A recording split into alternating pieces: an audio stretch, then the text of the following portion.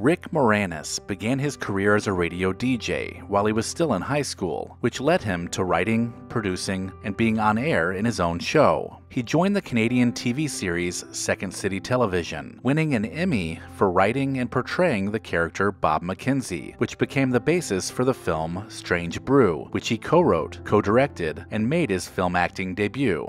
After starring in such film classics as Ghostbusters, Spaceballs, Parenthood, and the Honey I Shrunk the Kids franchise, Rick left big screen stardom behind. In 1997, Moranis began a long break from acting to dedicate his time to his two children, following the death of his wife. He has not appeared in a live action film for over 25 years, although he did provide voiceover work for a few animated films. He has also released comedy albums and made appearances at fan conventions during this break from acting. More recently, Moranis has signed on to appear in a newly developed sequel to Honey I Shrunk the Kids, which will be called Shrunk, but release dates have not yet been set.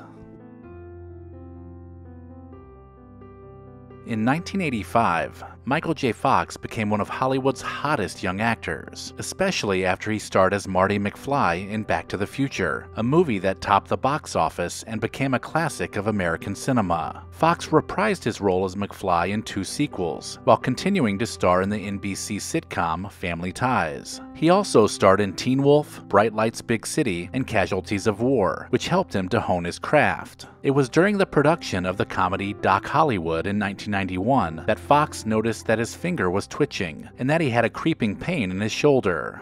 These were symptoms of early onset Parkinson's disease. This was a shocking revelation, since most people who get the condition are over 60. After starring in another successful TV show, Spin City, Fox announced his retirement after the fourth season, but he continued to make guest appearances on the show for the rest of its run. He subsequently became an advocate for finding a cure for Parkinson's, and even founded the Michael J. Fox Foundation in 2000 to help fund research. Dolores Hart hit it big in 1957 with a film role opposite Elvis Presley in Loving You. She went on to make 10 more films over the course of five years, including Wild Is the Wind, King Creole, and Where the Boys Are. But following a meeting with the Pope while filming a movie in Italy, she had a revelation that sent her down a new religious path. At the height of her career, Hart left acting completely and entered a monastery in Connecticut. Sister Dolores, as she became known, has remained a devout Catholic nun to this day, and her story has been an inspiration for many. In the 1970s and 1980s, Shelley Duvall became famous for her leading roles, which included Olive Oyl in the live action movie Popeye and in Stanley Kubrick's horror film The Shining, opposite Jack Nicholson. She appeared in the fantasy film Time Bandits, the short comedy horror film Frankenweenie, and also in the comedy movie Roxanne during the 1980s, before she began to settle for secondary roles during the 1990s. After the acting gigs dried up, Duvall moved back to her home state of Texas. Her brother had been diagnosed with spinal cancer, and Duvall made it her priority to be there for him. Now, 20 years later, the actress is finally returning to the big screen in an indie horror film called The Forest Hills, which premiered earlier this year. Brendan Fraser made his film debut in a movie called Dogfight. He had his breakthrough in 1992 with the comedy Encino Man, and also the dramatic film School Ties. He gained further prominence for his starring roles in With Honors as a Harvard student, and then starred as George of the Jungle before emerging to play the lead in the wildly popular The Mummy trilogy. He took on other dramatic roles in Gods and Monsters, The Quiet American, and Crash, but also had some fun with roles in Bedazzled and Journey to the Center of the Earth. He continued to act through 2008, but stepped out of the spotlight due to a variety of personal issues, including multiple surgeries and the death of his mother. Fraser also recounted an alleged sexual assault he experienced by the former president of the Hollywood Foreign Press Association in 2003, which he thinks blacklisted him. It wasn't until 2022 when Fraser made an Oscar winning comeback performance in The Whale, 13 years after his last major role. Daniel Day Lewis committed himself to intense method acting, transforming himself into the characters he played, such as Bill the Butcher and Abraham Lincoln. To such a degree that his true identity is hard to pinpoint. With The Boxer in 1997, he did more of the same preparations. Following shooting the film, he abruptly went into an acting hiatus. While he was in a semi retirement state, the actor moved to Florence, Italy to pursue the craft of shoe cobbling. This is an important crossroad in Lewis's career, and the element that helps audiences best understand the mindset of one of the finest actors in Hollywood. Daniel Day Lewis eventually retired from acting altogether after shooting Phantom Thread in 2017, after an illustrious career in which he won three Best Actor Oscars for his roles in My Left Foot, There Will Be Blood, and Lincoln. Many 90s kids will remember Amanda Bynes on Nickelodeon's All That. Her zany, attention stealing energy was watchable enough to land her a sketch show of her own, fittingly called The Amanda Show, and a lead role on the TV show What I Like About You.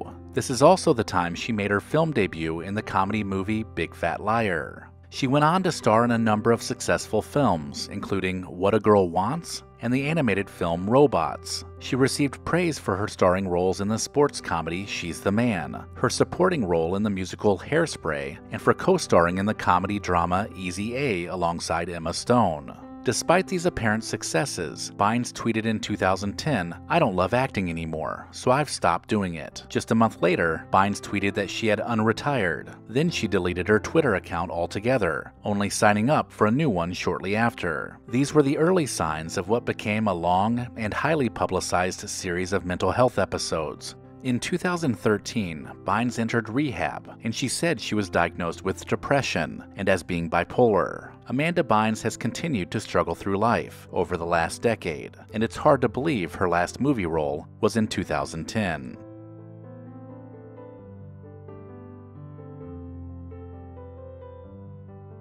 Doris Day was a singer and actress whose performances in musicals of the 1950s and comedies of the early 1960s made her a leading Hollywood star. Day's first major film role was in Romance on the High Seas. From there, she made a long series of musicals, including Calamity Jane, Young at Heart, Love Me or Leave Me, and The Pajama Game. Her screen persona, that of an intelligent, wholesome woman of unfailing optimism, came to epitomize the ideal American woman of the 1950s. From 1968 to 1973, she starred in The Doris Day Show, but after the show's fifth season, a 50 year old Day retired from the spotlight. Day focused her attention on animals, founding organizations like the Doris Day Pet Foundation and the Doris Day Animal League, which she was active in until her death in 2019 at the age of 97.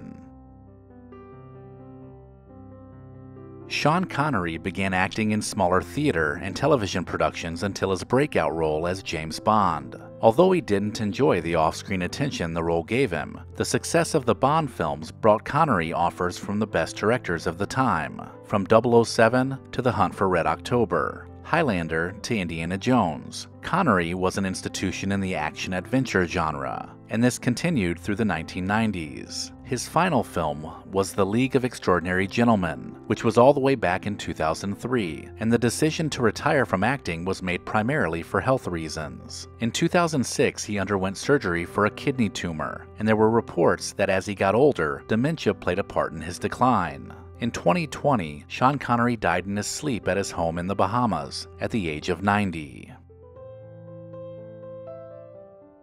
Back in 1937, Ronald Dutch Reagan was a popular baseball radio announcer and local newspaper columnist based in Des Moines, Iowa. It was when he traveled to California to cover the Chicago Cubs spring training camp that he met a talent agent who arranged a screen test at Warner Brothers. The studio was impressed by Reagan's on screen presence and offered the 26 year old a contract for $200 per week. By the end of 1939, he had already appeared in 19 films. Reagan later played the role of George Gipp in the film Knute Rockne All American before appearing in Santa Fe Trail and King's Row. Reagan continued acting in films like The Voice of the Turtle, Bedtime for Bonzo, The Winning Team, and Cattle Queen of Montana, but he was landing fewer film roles during the 1950s, so his career pivoted to politics. He was elected governor of California in 1966 and was able to turn the state around, leading to a more national role. In 1976, he challenged President Gerald Ford for the nomination, but he would have to wait four more years before a landslide victory over Democratic President Jimmy Carter. Ronald Reagan became the 40th President of the United States and would go on to serve two terms, leaving his acting days firmly behind him. Let me know in the comments if I missed anything, and maybe even consider supporting the channel over on Patreon. If you enjoyed this video, consider watching this playlist, and then visit the channel to search the Recollection Road Library. As always, thank you so much for watching.